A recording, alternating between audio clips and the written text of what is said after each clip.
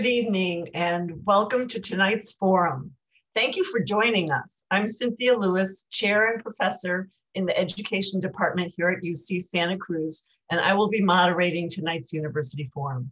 The UCSC University Forum is an ongoing series focusing on the relevance of our research to the community and to social, economic, environmental, and political issues, proudly featuring the impact of research conducted by the faculty at UC Santa Cruz. Before we begin, I would like to share a few details about the event tonight. We're using a webinar tool, so there's no chat function.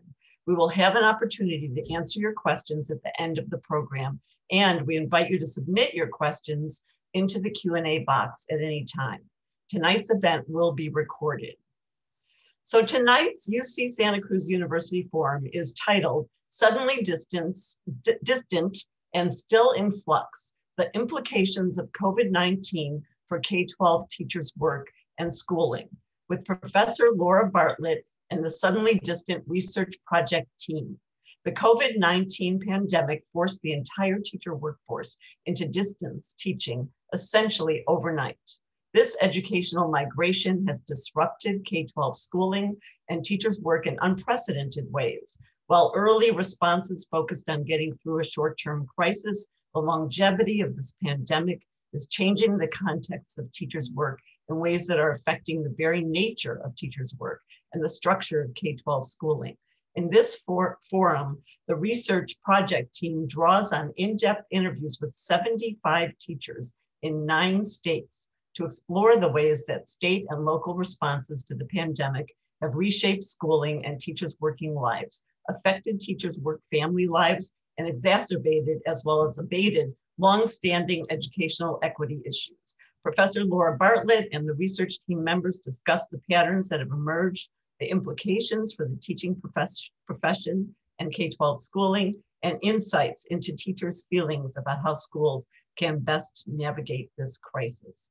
I'm going to very briefly welcome our panelists because we've got a big, very uh, knowledgeable group tonight. And you can look on their websites to get um, to find out about all their grants and awards and fellowships. I'm just going to give you the basics.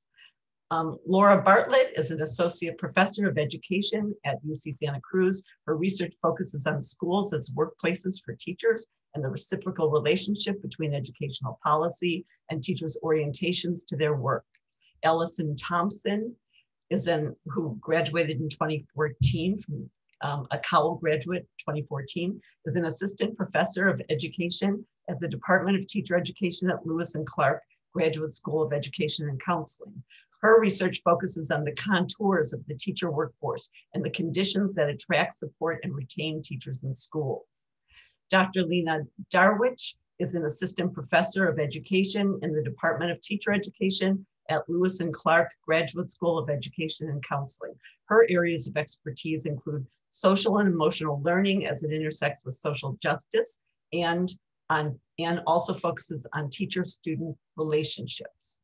Riley Collins is a PhD student in the education department at UC Santa Cruz. Her research interests center on teacher labor organizing, social movement unionism, and shifting conceptions of teacher work during the COVID-19 pandemic. Julia Koppich is president of J. Koppich and Associates, a San Francisco-based education consulting firm. She has served as a policy consultant for numerous state and federal organizations, including the US Department of Education. Her areas of expertise include public sector, labor relations, and improving teacher effectiveness with an emphasis on teacher evaluation and comp compensation. Dr. Judith Warren Little is Professor Emerita of Education from UC Berkeley her research interests center on the organizational and occupational context of teaching with special attention to teachers' collegial relationships and to the context, policies, and practices of teachers' professional development. And now we're going to move um, to the panel and Lora Bartlett is going to start us off. Thanks, Cynthia. Um, it's really a pleasure to be here and getting to share this work. I wanted to start out by just sharing with folks a little bit about where this work came from last spring when COVID-19 suddenly became part of all our lives, I, I, was teaching at the university. I was teaching a 300 student undergraduate class And I got told, like many teachers across the country, just take that class online. And uh, although I taught the class a dozen times, I hadn't the slightest idea how to just take that class online. And uh, suddenly my life became a, a, turmoil of trying to learn technology and figure out how I actually uh, do the pedagogical practice online. I, I joked with my family that I was a UFO and unintentional faculty online. You could see me in space trying to find my way, you know, to my Zoom links. At the same time, I had two daughters who were high school seniors, and they were both positioned every day at our dining room table trying to finish out high school online. And I got a, a view into all of their teachers also trying to figure out how to teach this online. And I just, I, I, I was struck, but there, there was something important here. And I, I reached out to these colleagues who are here tonight, who all studies teachers work, and we began to talk about what was happening. Uh, we noted that there was a lot in the news about COVID in schools, but there was little in the media about teacher experience and teacher voice. We all shared this sense that something needed to be done to capture the experience of teachers and understand, document, Uh, amplify teacher voice, and analyze teachers' experiences working during COVID-19. We wanted to do this both to include the teacher experience in the picture of pandemic schooling that was emerging, and because it seems likely this might not be the last time our schools are asked to take significant steps in response to a crisis. We wanted to be able to inform what might happen in the future. So we pushed out a call to teachers to participate in a one hour interview. And we asked teachers interested in participating to fill out a brief online intake form. And we pushed out that call via Facebook teacher groups, Twitter, professional groups like the National Writing Project, friends, family, colleagues. We were hoping to recruit 50 teachers. But we were hearing that teachers were overwhelmed and we were worried that it might be difficult to find teachers who could talk to us for an hour by Zoom. Well, we very quickly had 750 teachers from 40 states and the District of Columbia fill out our intake form. It was clear to us that teachers really wanted to share their story. But we now had a little bit of a problem because we had more teachers than we could interview, uh, as ambitious as we are, and we needed to find a way to select from that pool. So we knew that we would learn what was shared across teacher experience, the universals, but we also wanted to capture the variation in that experience. So we decided to select a subset of US states and to interview only teachers from those subset of states. And as you mentioned, we chose nine in the end.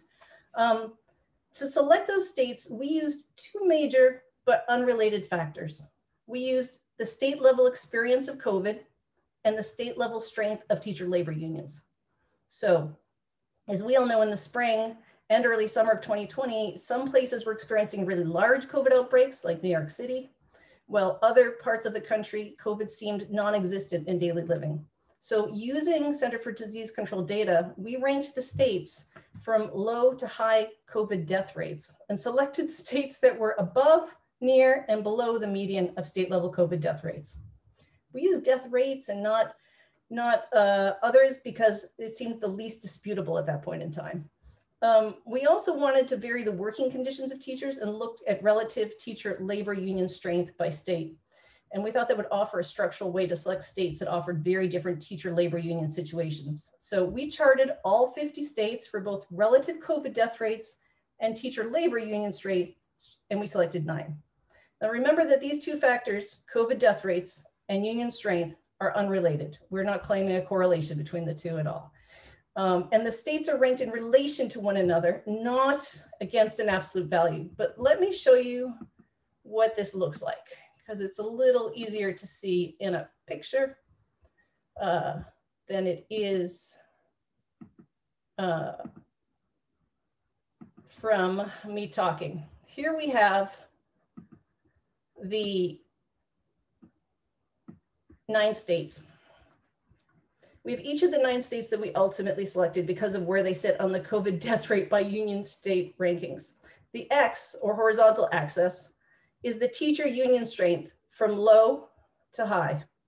And the Y or the vertical axis is the COVID death rate from low to high as of July. We wanted to sample three strong, they're over here, labor union states, three medium labor union states, and three weak down here in the end.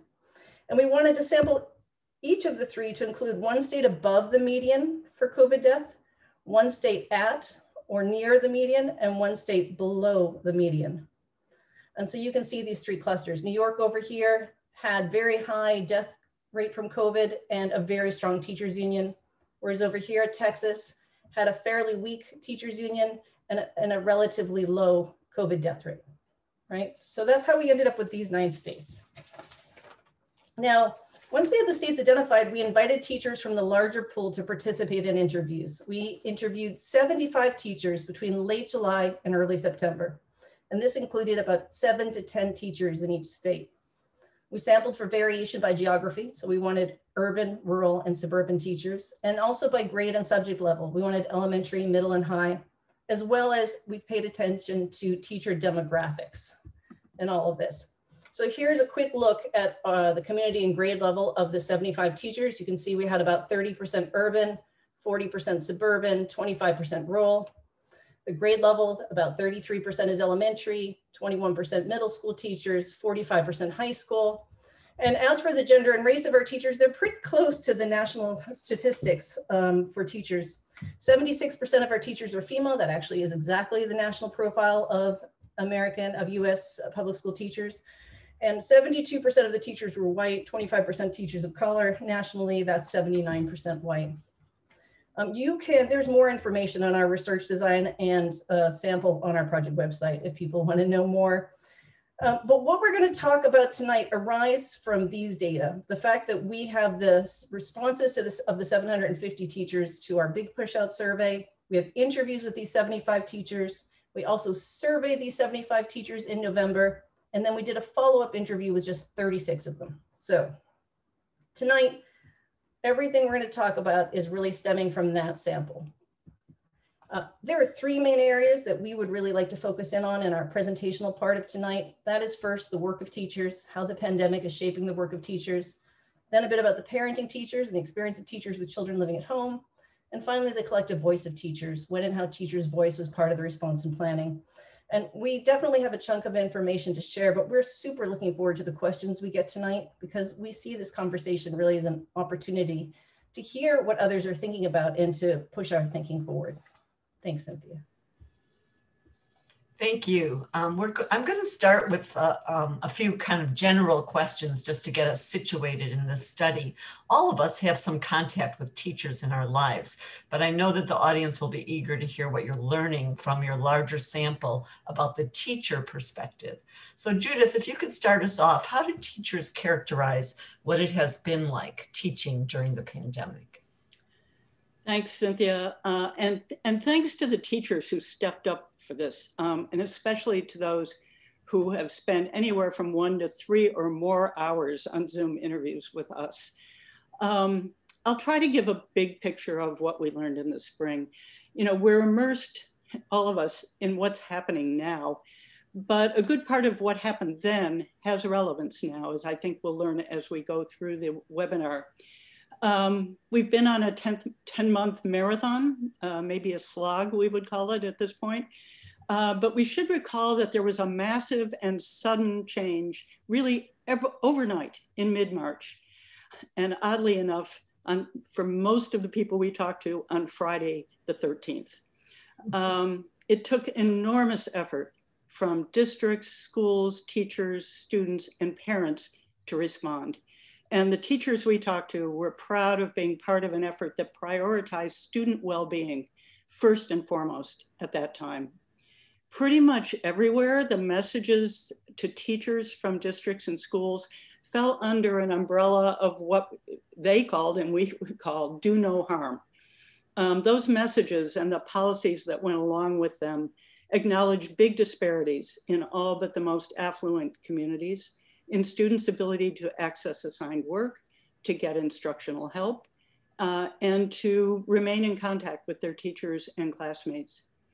Those no harm policies had a broad reach, including an emphasis on review or enrichment rather than new academic content, especially in the first few weeks of the shutdown. Restrictions on grading, no one could fail.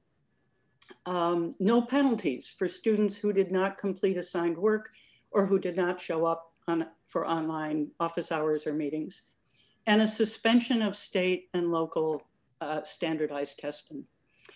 And even when the restrictions on new content were lifted, um, the other policies like no grading, no failure remained in place. That stance of no harm was really, really widespread, but more specific guidance or requirements for teachers varied widely. This is where it's clear that local context matters. Some guidelines established the number of hours that teachers were expected to be available online or by phone and email each day. Other guidelines focused on specific tasks. For example, one Florida elementary teacher was directed to upload one video, short video per day in each of four subjects, math, language arts, social studies, and science, and to provide feedback on every assignment. Her example is fairly rare. It's at one end of a continuum.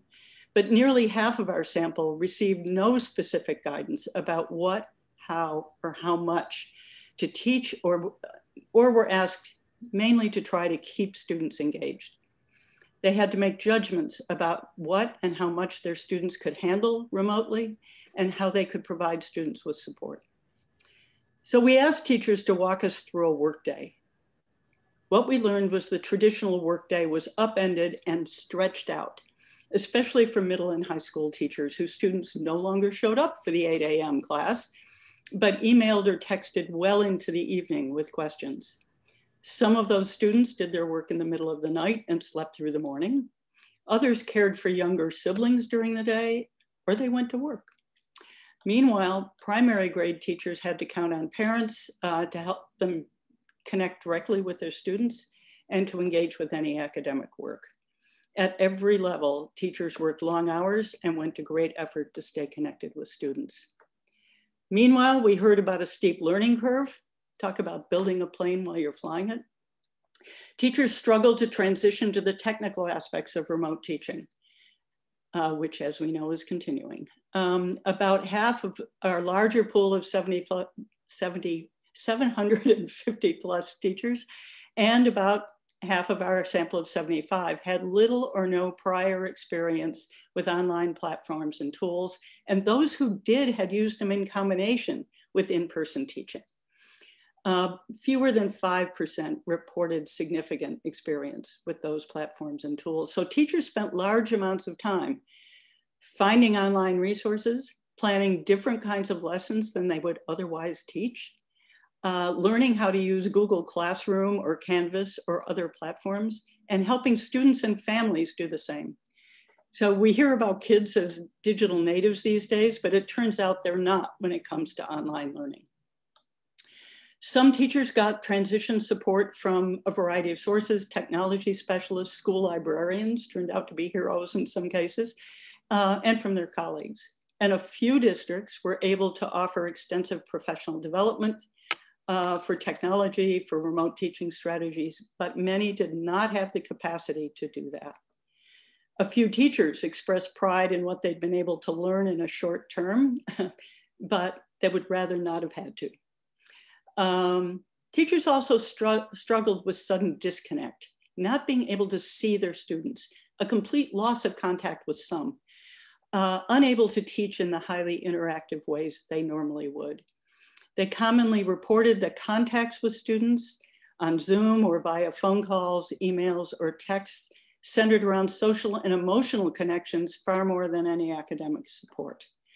As the weeks went on, it became harder for many to sustain connections, especially with middle and high school students who dropped away.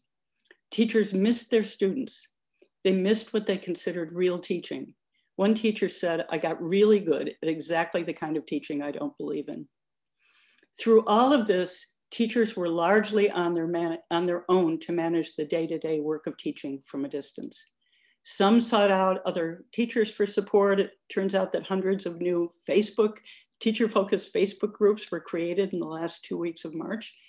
Teachers with strong teacher teams in their school highlighted the support those colleagues provided in every way, technologically, instructionally, and emotionally. Still, most teachers, even those with those close colleagues, reported intense isolation and exhaustion. While what it meant to be a teacher changed suddenly and substantially. Teachers went from an intense, dynamic day full of interaction over hours to hours at a computer. A California teacher said, I don't want to have a desk job. I love my students. And suddenly my job is about typing things up into a document that I post and then answering emails. When asked what would count as success in the fall, teachers like this one placed building new relationships with students front and center. So, uh, a massive and sudden change that forced everyone to rise to an unprecedented occasion. Last spring, no one expected to still be teaching fully or partly from a distance this year, but here we are, nearly a year later and still in flux, which brings us to the fall. Thank you. Um, I, you know, one of the things that stands out to me is that comment, I got good at the kind of teaching I don't believe in. And I think at least at the university level, there's been some changes in, in in instructors' attitudes or experiences of online teaching between last spring and this fall. And I wonder if that has been the case or what the case has been for the teachers' experiences. Lora? Well, Cynthia, you know, in general, last spring, everyone believed the shutdown was transitory. And in a lot of places, all the summer planning presumed a return to schooling as usual, which in some cases short circuited the ability to plan for a very different kind of fall, right? If we all plan we're going to go back just the way we used to be, we're not really planning for the new reality. And that definitely happened um, in many of the places around the country we spoke to. Um, in fact, though, from our fall survey, we know that as of November, only 6% of the teachers in our sample were back to being fully in person. Um, and 63%, the vast majority, were still remote, fully remote and 31% were working in some sort of hybrid configuration. And I want to pause around that hybrid configuration thing for a minute because what hybrid actually means is really unclear beyond it indicating some combination of remote and in-person instruction. But within that lies a complexity that the term does not capture, although we, we throw it around as if we all agree that we know what it means. Um, some schools offer hybrid programs in the form of what we've come to call parallel tracks of in-person and remote learning, each staff by and serving different groups of students and, and, and teachers. So you'd have like a group of teachers and students over here and they're remote and another group of teachers and students over here and they're in person, but never the twain shall meet. Those are parallel. Other schools um, offer hybrid programs where a teacher teaches students in person and remotely simultaneously at the same time. Uh, sometimes the teachers see all of the students in person at some point. Other times, at least some of the students are fully remote.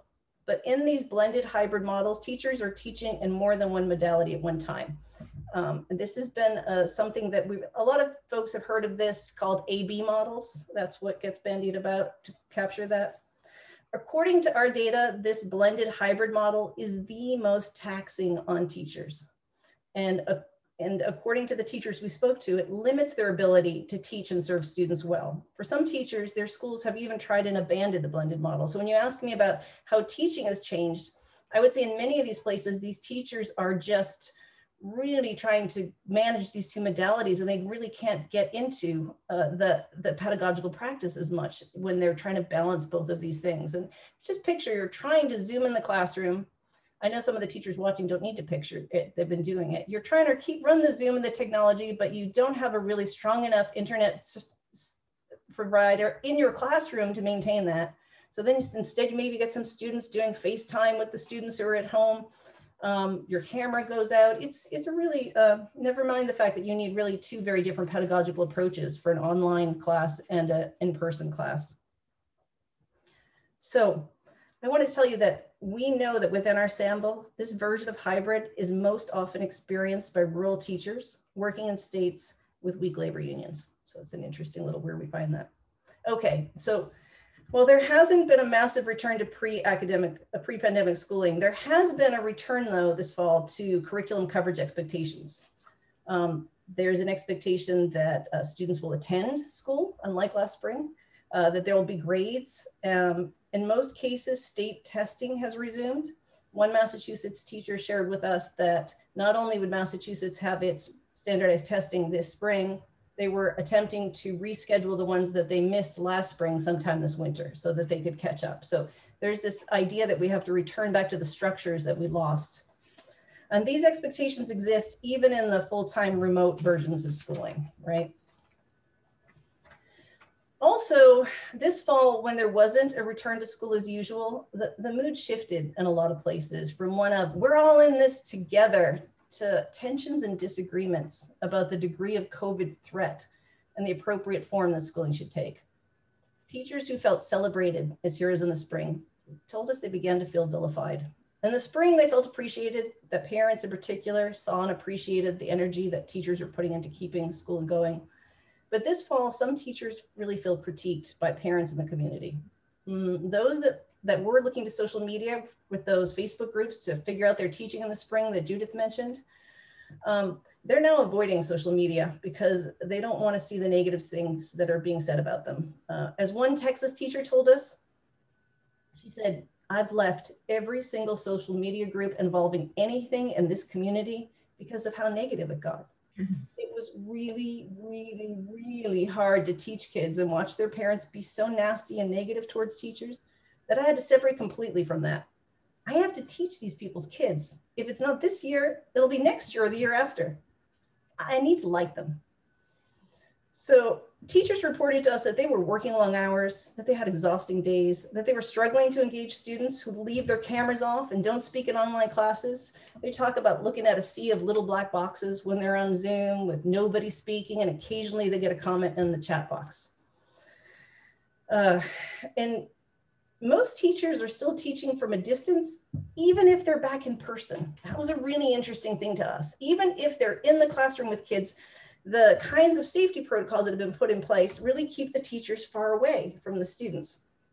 In Florida, a English language arts teacher who's currently teaching fully in person described the COVID safety measures her, in her classroom is limiting interaction so much that she feels far away from her students and she has them collaborating online in the classroom because mhm. they're required to sit, as we all know, six feet apart, but all facing forward they're not supposed to turn their heads in the class to talk to anyone next to them. They're masked, right? And they are just can't really interact except online. So she's teaching online in the classroom. Or as we kind of came to know that over time, it was like on the room, in the room on Zoom. Um, so some of that is indeed happening. Uh, I want to tell you though that we see a real paradox in terms of how teachers are feeling about their teaching. Two thirds of the teachers that completed our survey in November said they feel better or even much better about the teaching they're able to do this spring, this fall compared to the spring. They feel much better about the teaching they're able to do.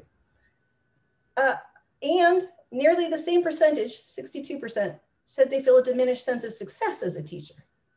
So they feel better about their teaching, but they feel less successful as a teacher. That's quite a place to be in, really. Among the satisfactions that teachers report are renewed contact with students, a sense that they're actually teaching again this fall, that now that schools and classes have a start and an end time, students are required to attend, grades matter, and the teachers are actually teaching material again and they feel students are learning. A rural science teacher in Texas says, she feels satisfied that I have seen a great deal of growth from August to now in my students' thinking abilities. An urban Texas elementary school teacher says she feels satisfied that I actually feel for the most part that students are learning pretty well during Zoom and are completing their independent work. So they're talking about really feeling like they're actually teaching again and students are truly learning again. But they miss, they really miss that intrinsic satisfaction of seeing a student's eyes light up when they understand something new. They miss the energy of the classroom where students are engaged with one another and they're really worried, really worried about student engagement. An urban Florida high school social studies teacher shared her concerns about engagement. She said, the most daunting thing for me is student engagement.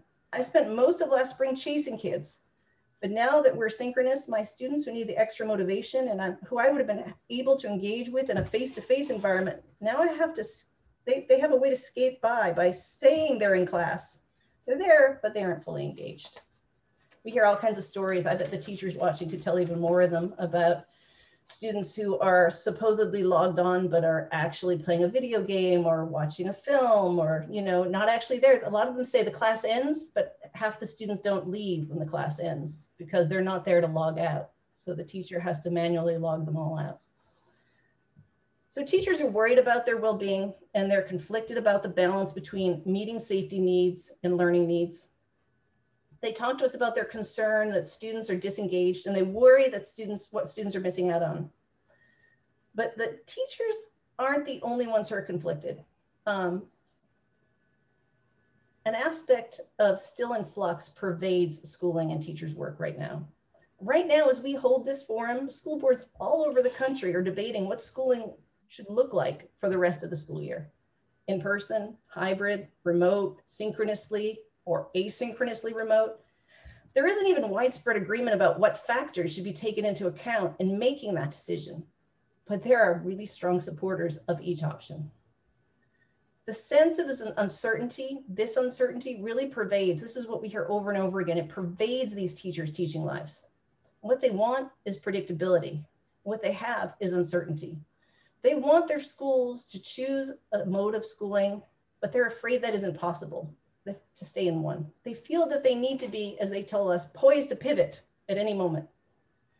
So all of the teachers in our sample would prefer truly to be teaching in a pre-pandemic reality, but given the current realities, what they ask for over and over again is stability and a sustainable model. That's what we hear. And that's that's what we see happening in the fall, Cynthia. We actually hear that teachers are so caught up in trying to figure out the mode of schooling and navigating the multiple changes of the mode of schooling that they are distracted from being able to focus on the pedagogy of their teaching. Thank you so, it's so complex. Um, I we all have stories about watching our grandchildren and children, and maybe we'll we'll we'll get to hear some of those in the question and answer. Um, but we know that this shift from teachers are saviors last spring oh my gosh how do they handle i can't bear to be with my kids all day you know kind of thing to um, that shift from teachers as saviors to teachers as just not working hard enough or um, you know why aren't they just back in the classroom? That that um, that stress then becomes um, it, it has to do with parenting and yet some of the teachers many of the teachers are themselves parents so i know that you've been studying that as well and i'd love to hear from um, Alisun and Lina Alisun first what brought you to include a focus on parenting in your study on teaching and what have you learned from that focus? Thanks, Cynthia. So teaching has a reputation as a family-friendly profession. This is mostly due to the fact that there's schedule compatibility. Teachers' schedules align up with the schedules of school-age kids. But that notion that teaching is, is family friendly really requires boundaries between home life and work life. And as you just mentioned, those boundaries were disrupted by the pandemic. So we decided to include a focus on parenting teachers because it gave us a more complete picture of the working lives of teachers during the pandemic. So we've learned a lot, but I only get five minutes. So I'm going to give you sort of a big picture and then dig into one of the working conditions that parenting teachers talked about as a crucial component of teaching during the spring, and that's the issue of flexibility. So first, the big picture. Parenting teachers were largely on their own in managing childcare responsibilities. Most of them, 81%, had partners or spouses that were also working remotely from home. But the parenting teachers assumed most, sometimes all, of the childcare responsibilities. Less than half of the sample referenced support at home for managing this dual reality of working, of home life and work. Um, another thing that we learned was that this disruption this of work and home boundaries created the conditions for overwork and exhaustion among parenting teachers. 74% of parenting teachers reported overwork and an extended teaching workday.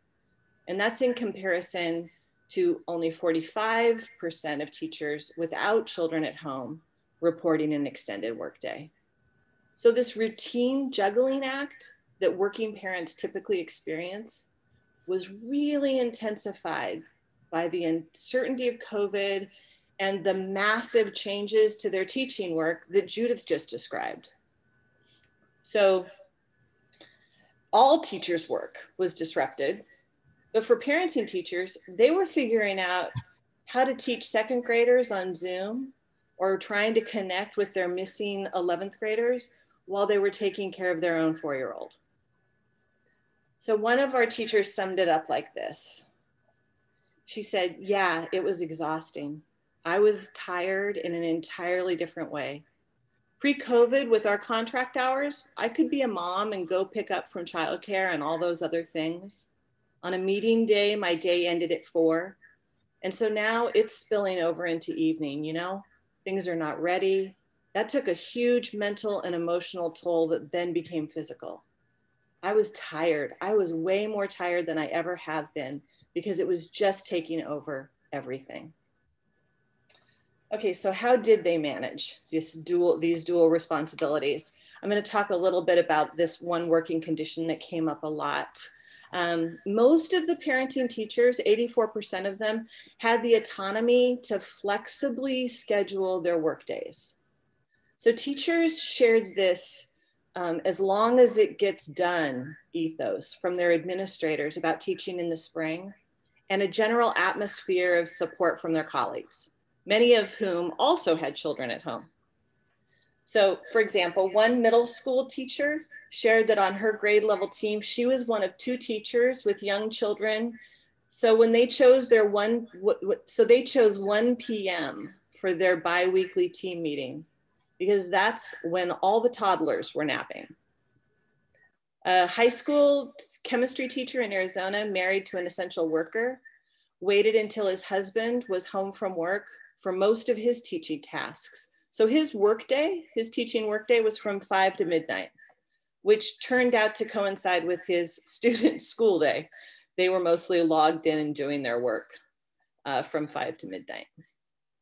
What we learned was that this flexibility was really crucial because it enabled parenting teachers to shift from parenting to teaching tasks throughout the day, or in some cases, do both simultaneously if that's what they needed to do. An Iowa high school teacher said this We've got a lot of teachers that have babies, you know, so a lot of people rocking their children while we were having meetings or putting them down for a nap or getting them a bottle while we were planning, you know, putting themselves on mute so they could address somebody yelling in the background or something. I mean, that was really not frowned upon. It was just pretty normal. I mean, my principal has two kids who are younger than my two, and his boys were constantly on screen. We all just rolled with it. So there was definitely a, a, a feeling of being supported in managing the situation. But I don't want to paint too rosy a picture of this flexibility because while it was necessary and appreciated by the teachers, it also created the conditions for overwork and a very long workday. If you have too much to do and only more time to do it, that's just, it's a recipe for exhaustion. And that's what we heard from our teachers. And also, the issue of flexibility came up because it was a temporary arrangement in the spring, and everyone knew that. It was an emergency response. And no one was expecting that flexibility to continue into this school year.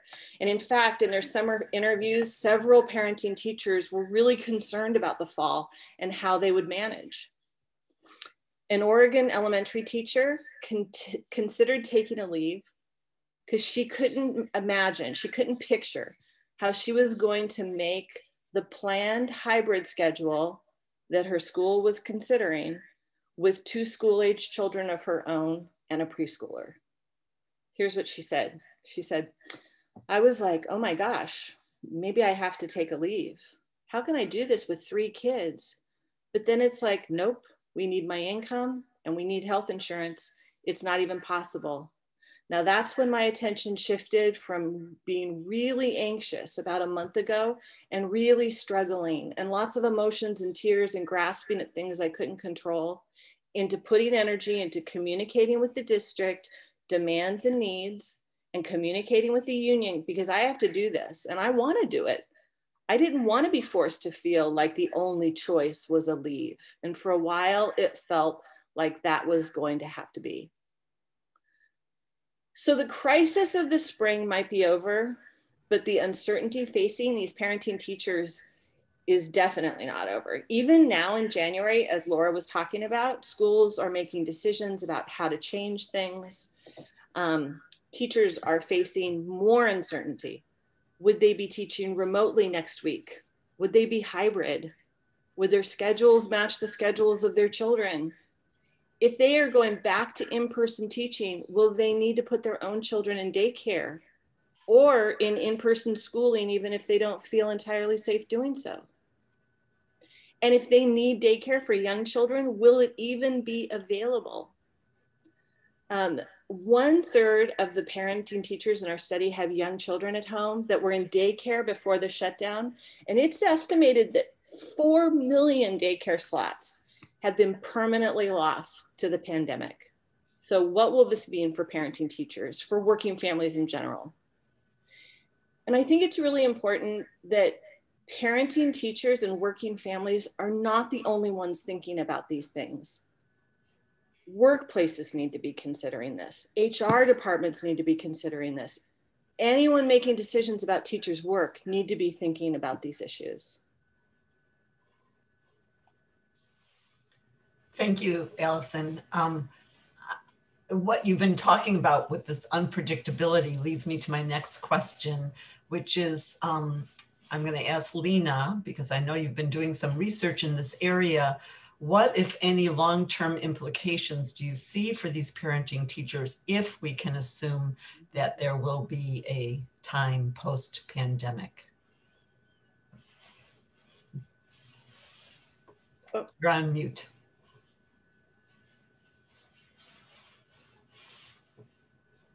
That always happens. Um, thank you, Cynthia professional burnout is the risk um, and burnout is something to, to really be concerned about because it's the leading cause for teachers to leave the profession.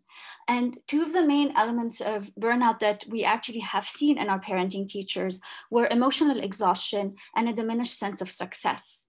Um, and we were, uh, Alisun and I were particularly concerned about this because, as she just mentioned, 74% of our parenting teachers have reported overwork and um, versus 45% of our non-parenting work uh, teachers.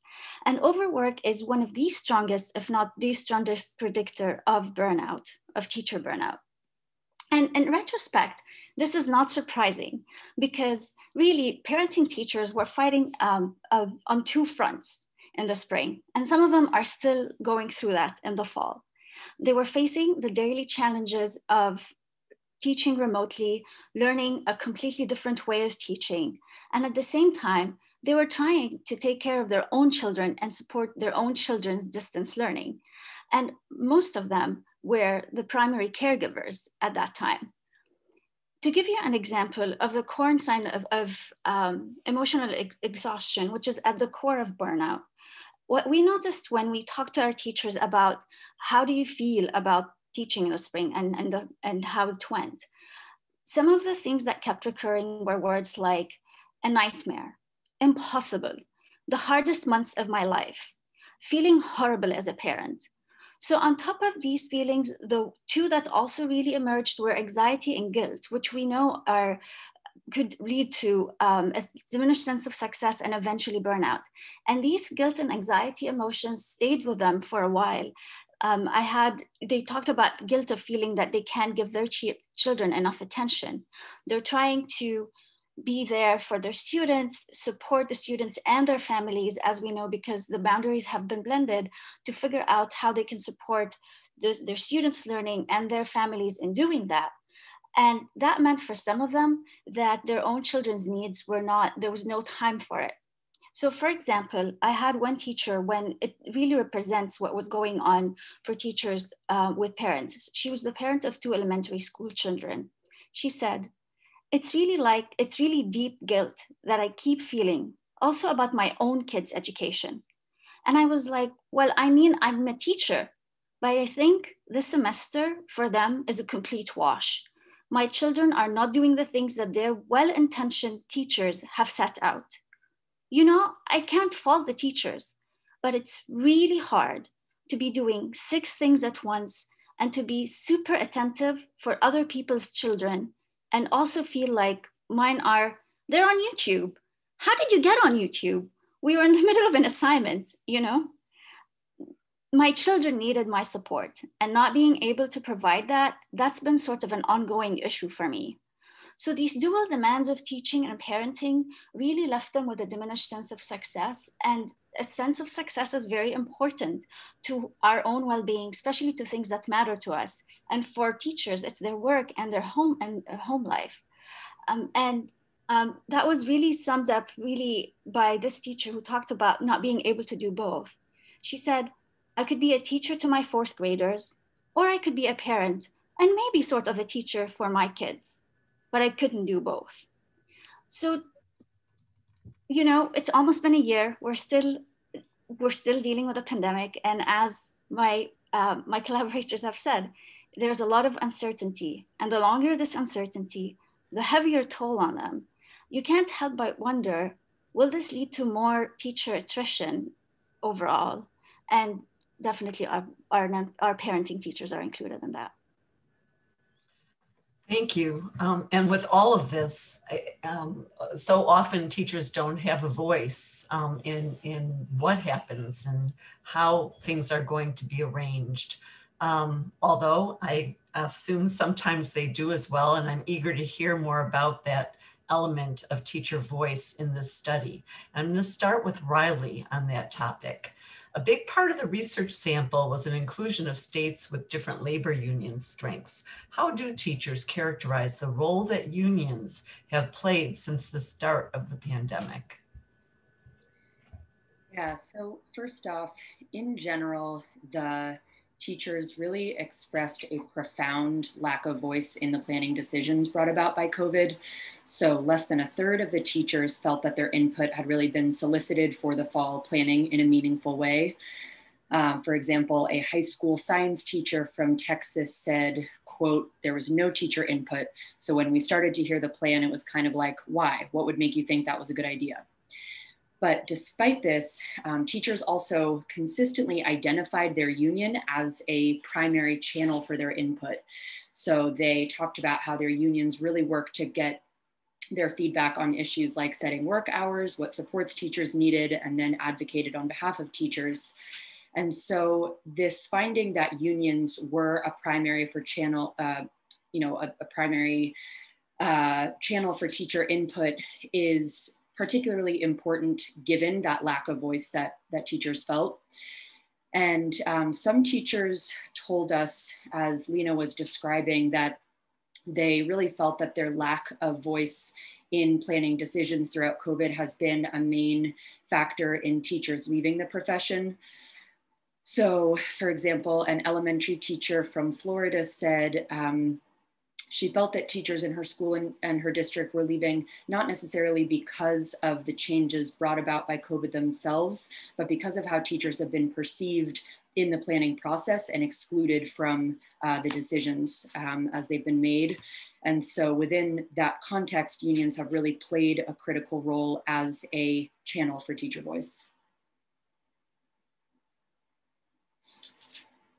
And Riley, did you see any variation in teacher union strength? I, at the state level variation in teacher union strength that you made sure that you had in the study, did you see any um, effects on teacher decision making? Yeah, we did. So when we analyzed the teachers' responses about the degree of input that they felt they had in the fall planning decisions, uh, we found that teachers in stronger labor states reported having more input in the fall planning decisions than teachers in weaker labor states. Um, and I'd like to share a table to give a better picture of this.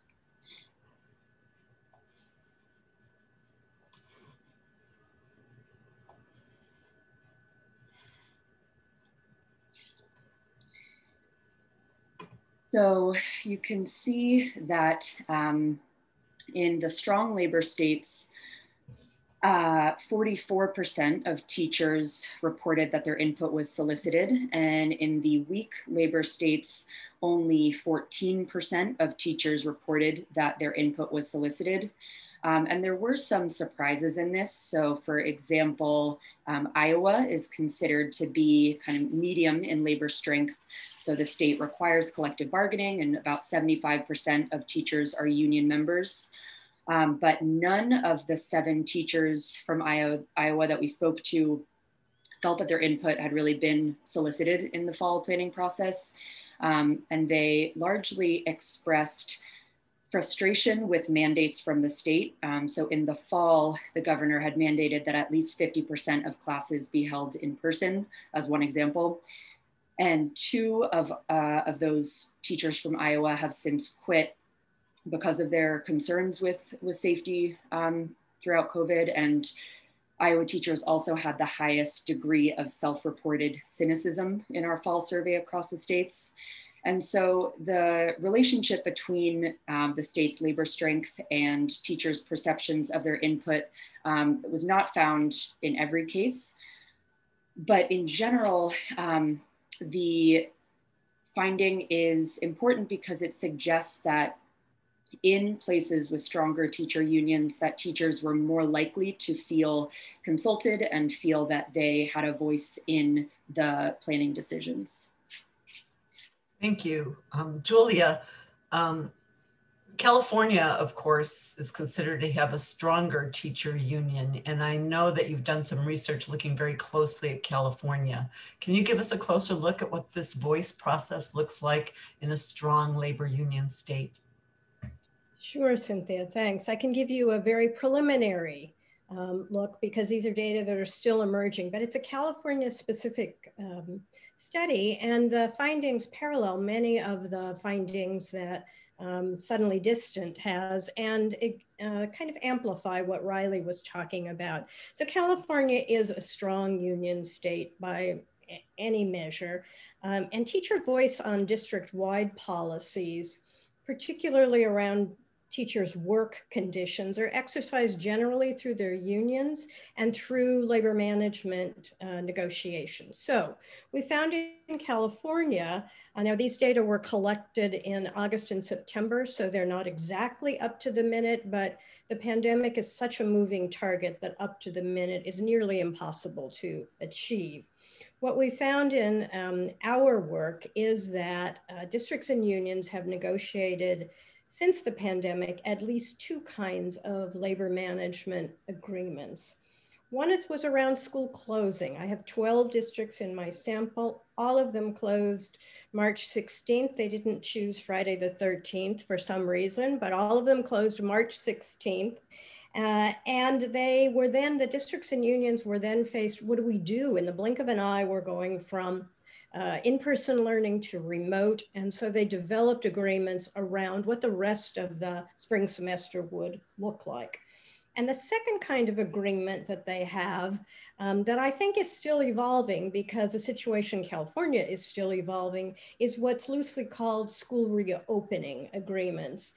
And these were agreements that included distance learning, in-person learning, a combination of the two, but they were generally designed to sketch out what the 2021 school year would look like. And all of the union leaders and superintendents says, said, these are our best guesses. We have no idea what's going to be happening. A number of the teacher union locals that uh, were in my sample sent surveys to their members um, as they developed these agreements. And they asked two principal questions. One is, what do you need? What kind of support do you need for some kind of continuity of instruction and so that you're able to serve what is almost everywhere a very diverse student body. Second question they asked is, what will it take? Uh, in other words, under what circumstances and conditions uh, will we be able to return to in-person instruction? As you might imagine, those responses were all over the map. That being said, that we have also found that in districts where schools are responsible for establishing some school programs or setting the guidelines, teachers find that their voice, find their voice through vehicles like uh, school-based committees and other things like that. Great, thank you. Um, boy, so much has been shared and the um, and we have many, many questions from the audience. So I want to turn now to some of those questions.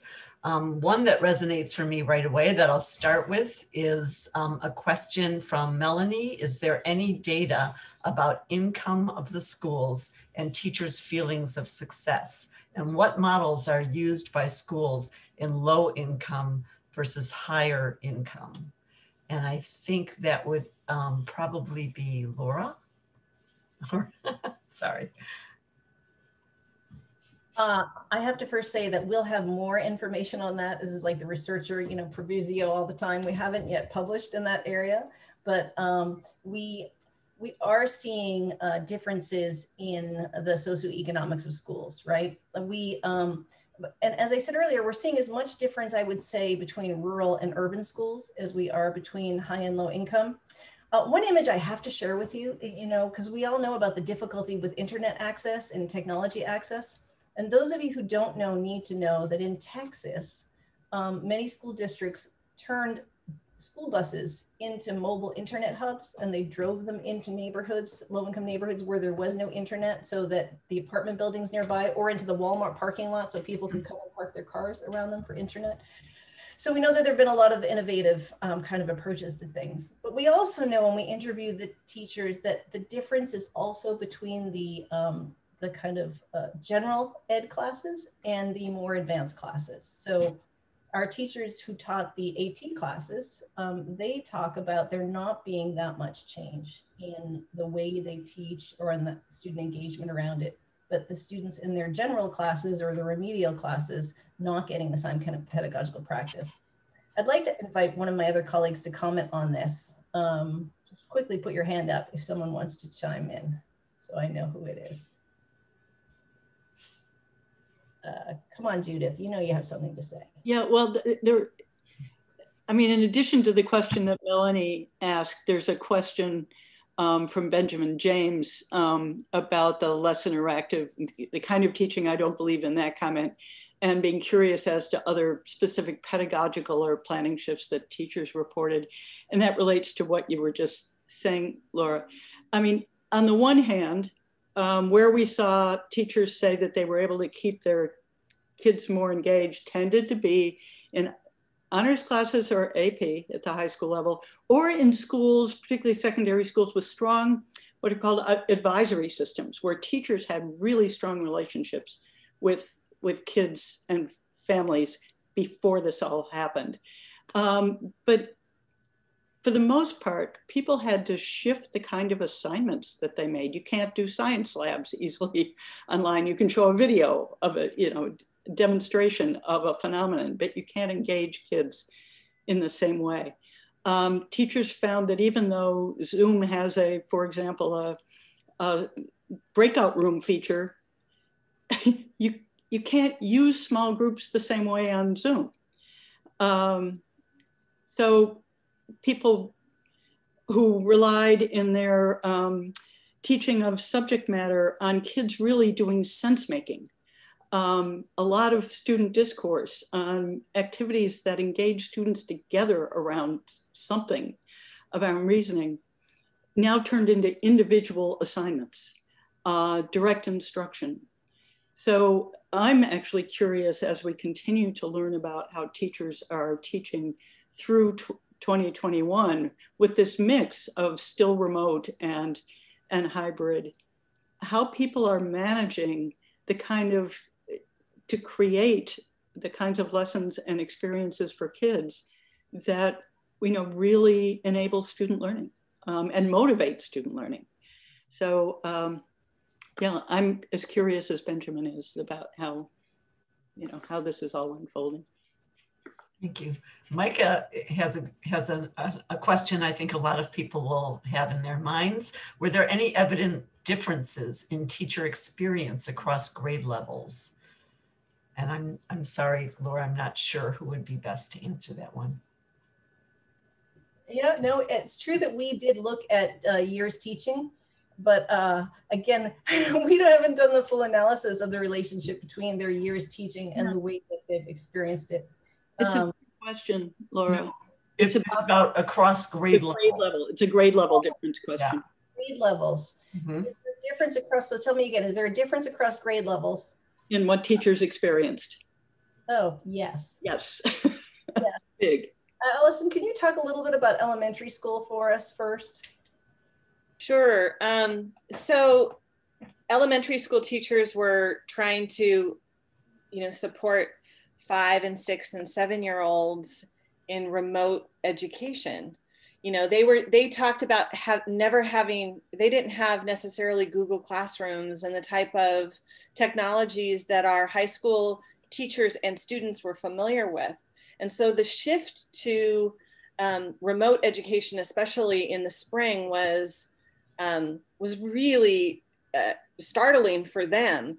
Um, they talked a lot about struggling to get become proficient in technology and also needing to coach families. So we had parents that were you know really needing to support their young children in accessing instruction via technology like Zoom or Google Classroom.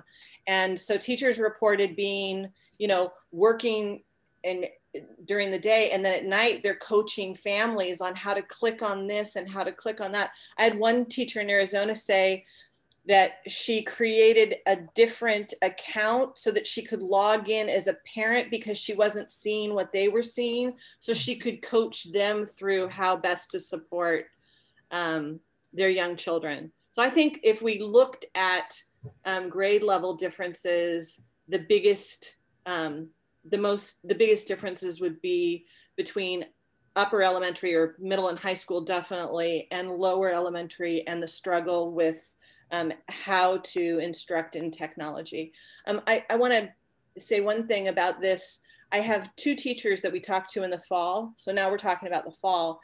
Uh, one teaches fourth grade in oregon and one teaches kindergarten in um, kentucky. They're entirely remote and both teachers for different reasons have chosen um, at the school level and at the grade level for these two different teachers to be logged in from the beginning of the school day till the end of the school day.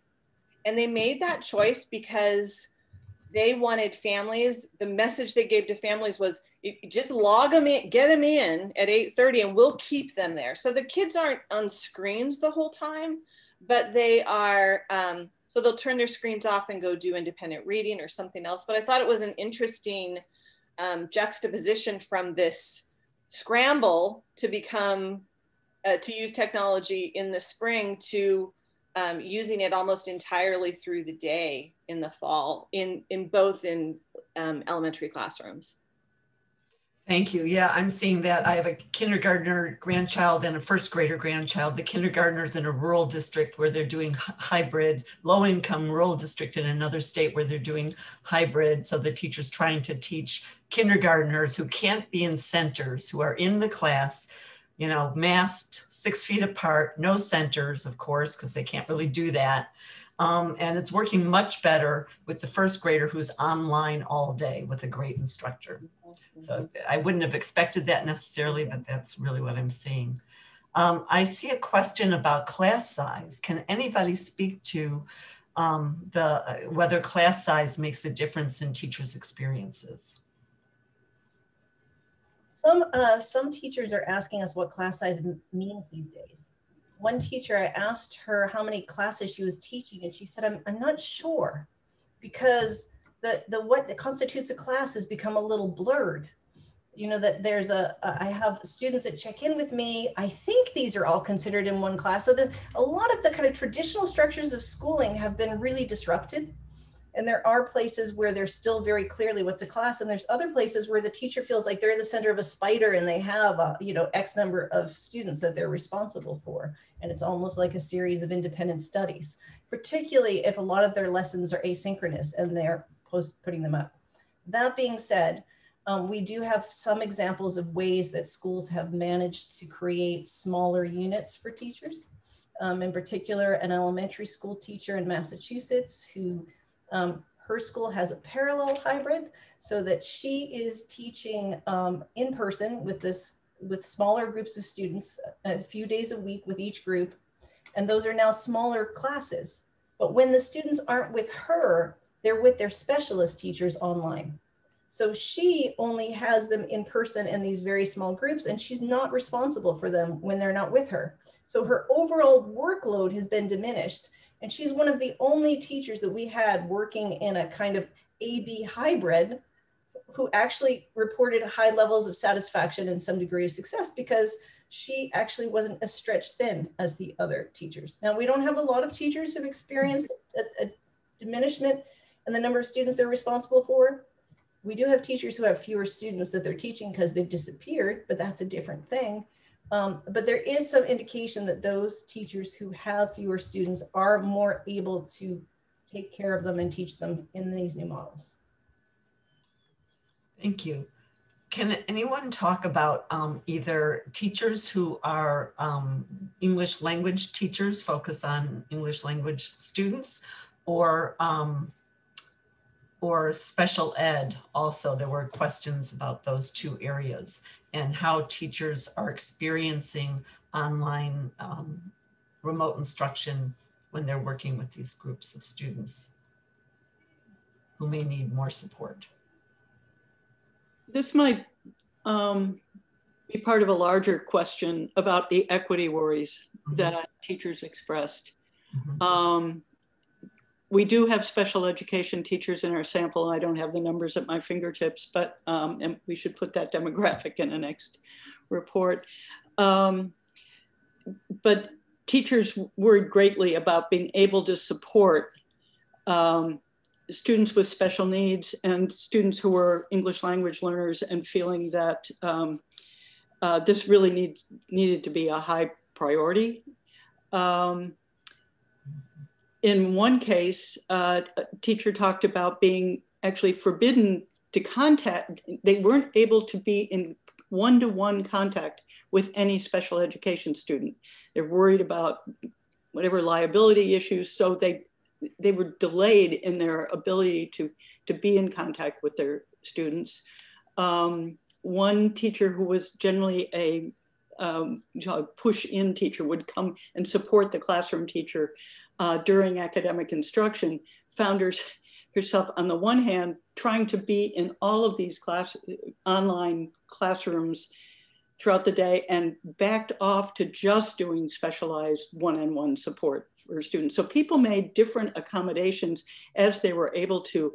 One of the, um, the restriction on new academic content in Iowa, uh, teachers interpreted as um, a response to the worries about special education, special needs students that they were not going to be able, if some people got new content and others didn't, that they were going to be even less able to meet the requirements of, of IEPs, the individualized education plans, um, other both federal and state requirements for special needs. So it became really complicated, I think, for the teachers. Uh, uh, another category of teacher, there's teacher in Oregon we interviewed who is in a school that mostly educates my, the children of migrant workers. And those students, those parents were still out in the field trying to maintain contact with those students was and serve them well was very different, uh, difficult. It was a, a big worry. So um, yeah, there, I think there was a, one thing we really haven't highlighted yet is the pervasive concern that teachers expressed about this exacerbating existing inequities. Mm-hmm. Mm-hmm. I do want to share a story about one special ed teacher from Massachusetts, and, uh, and she was a preschool special ed teacher. Mm-hmm. And I first of all want to say that she felt in her, she, she said she and her colleagues felt like they had been um, kind of overlooked. That when the safety uh, guidelines were being put out and they suggested you stay six feet away from children, they were forgetting that they had to change these children's diapers and you can't do that from six feet away, right? So there is a whole set of challenge that is that the public preschool teachers and particularly the special ed ones had to deal with. That being said, this teacher said that she had a, a, couple of examples, and one in particular I'll share, of real strength that came out of the remote learning. In that, uh, for the first time, she had the most, the greatest amount of parental participation in the because the parents were there with the students and the teacher was online with them and that she had one boy in particular who hadn't been making any progress in school just blossom right he just was outside of where the dynamics that were just difficult for him with classmates and being there with his mother and online with her as the teacher in these much smaller segments that they saw him make enormous developmental gains I don't know, you know, I don't know how much that mother was happy to be home all the time when she, you know, during a pandemic. And I also don't know how sustainable a model that is, but we absolutely heard stories of beautiful moments of learning that were still happening during in this in this structure and in this framework. I don't imagine that IEPs were canceled with grades last spring, right? So those teachers were still still dealing with the, the same kinds of. No, they were often um, doing the the reporting on them was often delayed. Okay. And um, I'll, I'll add something too is we had some parenting teachers in our sample who had children with IEPs. And so when we talked to them about some of their challenges, uh, they were talking about this net of support systems that they were used to in schools that they no longer had access to. Mm-hmm. So I think that it really made me think about the demands on parents with children with special needs in particular, um, and the amount of services that are provided through schooling that were, you know, no longer being provided or being provided differently. Mm-hmm. Thank you. I think this is a question for Riley or Julia.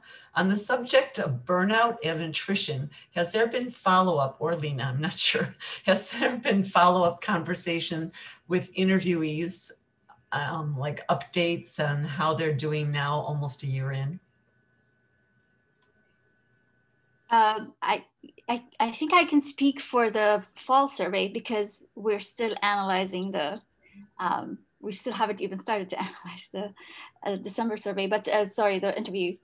But from the fall, I can give you, because we sent out a survey in the fall to teachers and some of the questions that we asked were about their sense of like diminished sense of success and um, their, their sense of capacity to, to care for others. And I'll give you some of the numbers to kind of give you an idea that things could be better. So for example, when we asked teachers to report about the, we had a list of challenges for them in the survey, and we asked them to check all the ones that apply. So 74% of our teachers, and that's 73 out of our 73 out of 75 of our teachers um, responded to the survey. And 74% of them have said reported overwork. Uh, a diminished sense of success, success 61% of them reported that in terms of increased cynicism about education, 51% of them felt that. And then in terms of um, a diminished capacity to support others, around 43%. So that's where we are at the moment. We'll definitely get more information once we start looking into our, um, our interviews with our focal teachers. Thank you. I think this one might be you too, Lina. There was a question about mental health support. We've heard from a lot of students and parents about high stress levels and need for mental health support. We've heard them um, describe digital learning like a freight train that doesn't stop. Do you know any examples of approaches, programs, districts, or educators who have found a promising way to address student stress and mental health during COVID? That, that's a really good question. So most of the teachers I spoke to, and again, we we have to go back to the data. They didn't give a specific program that they were talking about. It was mostly about things and efforts that they were doing. Um, things that are like checking on the families, uh, working closely with the counselors, having one of the things that really stands out in mind, and it, it's a few teachers who have talked about it. They found a lot of the time that students were more likely to show up on days where they had to connect. So there were some schools where they had like fun Fridays um, or, or a class for them to get together they were more likely to show up to these classes than to their office hours for their academics. So it was a lot of these efforts. But if if the person is interested in this, I do know Mind Up is one program to look into, and it's about mindfulness. And I know I remember one teacher, a focal teacher I interviewed in the fall, she talked about that they started some mindfulness because efforts in their elementary school classes because they were not noticing that even I think she teaches fourth or third graders. She was teaching third graders and she was noticing like levels of stress getting higher for them. Um, so I, I don't think they were using a, a particular program, but mindfulness was something that they were talking about. I have, I moved from Canada, and so I still go back to my Canadian websites. Um, there is, I do know that there's teenmentalhealth.org, which is a secondary for secondaries, but they just launched an elementary one, and I'll send the link for the person um, later. Great, thank you. Um, I think this, Riley, this one might be for you, but if it's not, just, just let me know or tell me who it would be better for. Um, are there implications of the pandemic driven changes for after we are finally past the pandemic? Will we return to how things were or will there be lasting changes in teachers' roles, expectations, pedagogy tools, etc.? Sure. Um, I think that on the one hand, um, teachers really expressed concern that um, that technology would be replacing in-person education in the long run. So they were clear that while currently um, they prefer, uh, some of them prefer remote um, learning for safety concerns, that they really don't see technology as this cure-all in, in education and they're concerned about that extended embrace. Um, but on the other hand, um, when we asked teachers about what they would like to potentially bring with them in, in post-pandemic teaching, I, I, think the, the vast majority um, talked about prioritizing relationships with students and how it has become so evident in um, in the context right now of just how important that is and that they uh, recognize that that is not necessarily something that is specific only to the COVID context. Great. We're going to take one one more question and then move to the um, to finish like up. I yeah. want to comment on that, Cynthia, if that's okay. Sure. There's one other um, really big thing that came up, and that is, um, will will anyone ever be able to be absent in the same way they used to be from school? Right? And uh, because uh, in, we know in Kentucky that for a long time had this thing called non-traditional instruction NTI. So if there's a snow day, which I didn't know Kentucky had snow days, but I guess they do. If there's a snow day, then the students are told just to go and start doing their NTI so they're not actually absent.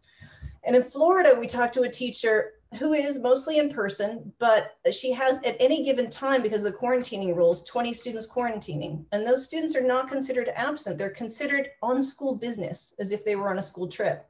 And it's each teacher's job to figure out a way to patch those students into the class and keep them attending. Um, we also have heard stories of teachers having to quarantine or even getting sick and being asked to still teach from home with a substitute just keeping order in the classroom. So I don't know the answer to it, but it feels to me like if it's maybe changed anything, it's going to very much change this definition of what it means to be present and what it means to be absent. Yeah, that seems really important when we talk about teacher work conditions. Thank you. Um, Tracy asked, this is really interesting. Was there any evidence of unemployed former teachers returning to the profession? I myself have been out of the classroom for 20 years and I returned during the pandemic because my previous marketing career disappeared. So in part maybe because other careers disappeared and in part maybe because online makes it a little bit more flexible, not exactly flexible, but where, where you are at least is more flexible. I think that uh, that's not something we're really positioned to speak to because we recruited 75 teachers, the criteria of which is they had to have been teaching. Oh. Right. So everybody in our sample was teaching last year they're not all teaching this year, and some of them would like to leave teaching, but don't feel like they can because of the labor market situation. But um, we don't we don't really know about who might be coming in. So clearly, one person has. Thank you.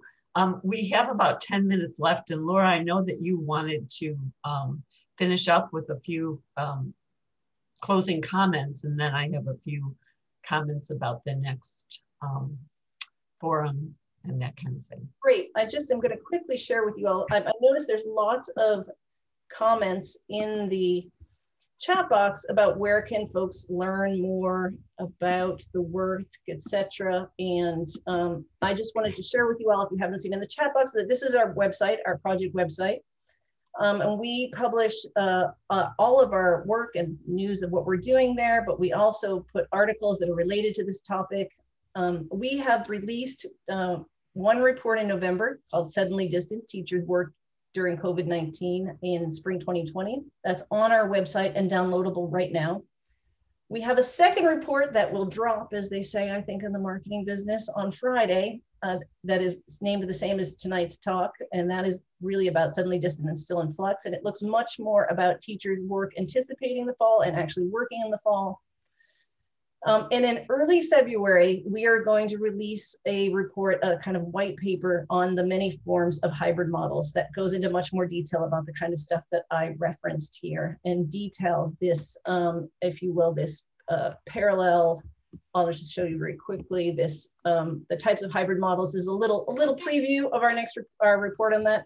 We're gonna be looking at the parallel models of uh, hybrid, the alternating models, that AB model, and the blended models that bring uh, both students and teachers and in person and remote together in the same classroom. So that will be in our report on hybrid and more. Um, and this is where everyone can find it. I'm going to stop sharing, but I think that that address will get tweet uh, chatted out again to you all if you need it can I ask a, a question? Um, eh, did have you did you have you noticed any differences in experiences between teachers of color and teachers who identify as white? Alisun, would you like to tackle that? Um, well, we were doing our summer interviews at a time of racial um, you know, upheaval, the protests for George Floyd's murder. And so we did hear from some of our teachers of color that they were dealing, you know, when we're talking about teaching remotely and we had questions for them, that they were really also engaged in um, anti-racist teaching work and things like that. And, I, and it came up more um, among our teachers of color, not entirely. Lina, do you want to add anything? I, I think it came up. I, I, I, remember one interview in particular, which was a teacher in, of color in Oregon, where yeah, there was a lot, it, some uneasiness about, about not talking about about these things enough, um, while thinking about what COVID, like they they that was one of their concerns. But I think overall, most like there were several teachers who were who identify as white and talked about it as well, um, as Alisun said.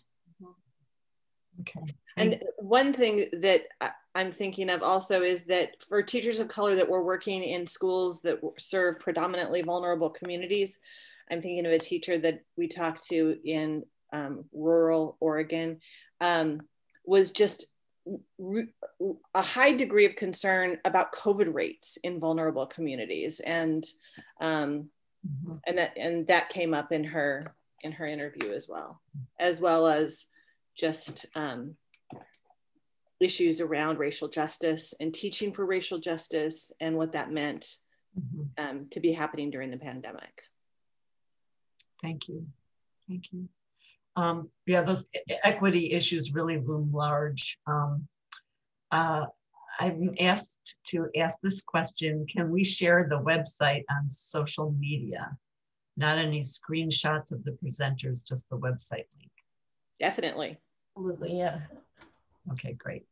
Um, all right, then I am going to um, thank you all for joining us tonight um, and ask you to join us on February 4th for our next uni uh, for our next university forum, Isolation, Anxiety, and Stress, which will be with Professor of Psychology Craig Haney and UCSC alumna UC Irvine professor, Alison Holman. And with that, I'd like to thank our wonderful presenters. Um, this work is so interesting, and I'm glad that we can um, that we know about it in its at its start, and we can follow it as it develops and as you analyze more of the data. This has been really very um, insightful and, and and really interesting. And as I know the audience agrees, and maybe I should end with, oh, I wish I could find this, but I probably won't be able to find it right now. There was a wonderful um, comment from Lori saying, this is the exact, um, Julie, I think, I'm sorry, saying, I still haven't found it, but I, I, I'll tell you what it said. It said that um, this is exactly what she's experiencing as a teacher. Do you have it? Yep. She said, listening to yeah. this, feel heard and I feel seen, particularly knowing that my feelings about direct learning are fairly universal, distance learning, sorry. This helps me feel less isolated and unsure. How do I share your research with my colleagues and the district? And the answer to that is you can share this webinar and you can also share the reports from our website. Um, it's really been a privilege getting to talk to you all and share work when it's when it's emergent. You know, we, we made a commitment when we started this project to the teachers that we would do our best to get the work out while it was still relevant and not wait, you know, for all the peer reviewed journals. So uh, thank you for helping us yeah. do that. Yeah, that's that's great to have um, teachers able to share this with their colleagues and with administrators in their district seems really important and right on point with the subject of teacher voice. That was one of the focuses. Thank you so much. Thank you, Cynthia. Thank Bye, you. everyone. Bye. Bye. Thanks, everyone. Thank you.